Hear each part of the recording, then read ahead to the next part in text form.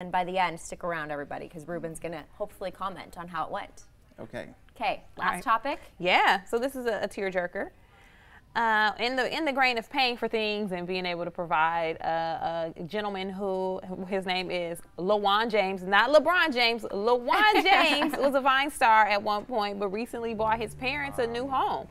Uh, he recorded the event blindfolded mom and dad, took them to the to the brand new house and revealed it, and it's just a very emotional uh, moment because growing up, you know, when you have parents and they work so hard and they do what they can, you always say, man, I really wish I could buy my parents a home. And in this case, he actually did it, and it's a like the home is like nice, it like so inside nice. redone, uh, marble countertops, just a, just a beautiful uh, experience. And you can see right here the parents just really emotional because you work so hard, and you know you just want to make sure that your family's comfortable. So this is a good a good story. If you have the means to take care of your parents, I know my mom and dad, if I could buy them a house right now and everything that goes in it, I would have done it if I could already. But to see this actually come to fruition, I mean, you think about all the work that goes into buying a home, mm-hmm. and for them to have not known mm-hmm. any little detail and to walk down a street with a blindfold on and then be surprised with that.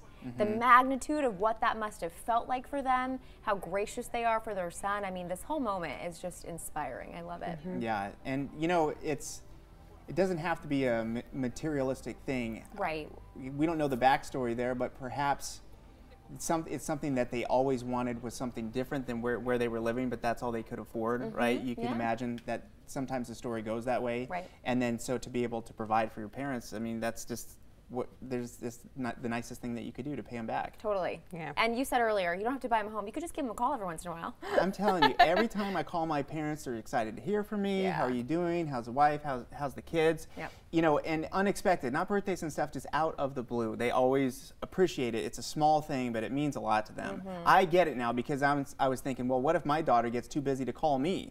Lake You is know, definitely going to be yeah, busy. as I'm taking her to the She's going to be living her life. Yeah, She's we're doing all these things. She's I'm like, already independent. busy. if she ever forgets all these things we're doing with her right now, I will be forever devastated. So.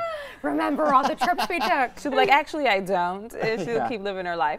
And it- it- it's just a cute moment, especially um, they t- just took care of everything and all the paperwork. I, it's just, that's just cute. It is cute. Mm-hmm. If you have a similar story, if you know anybody who has done something just out of the kindness of their heart, share it with us. We like to cover really positive stories over here at ABC 10.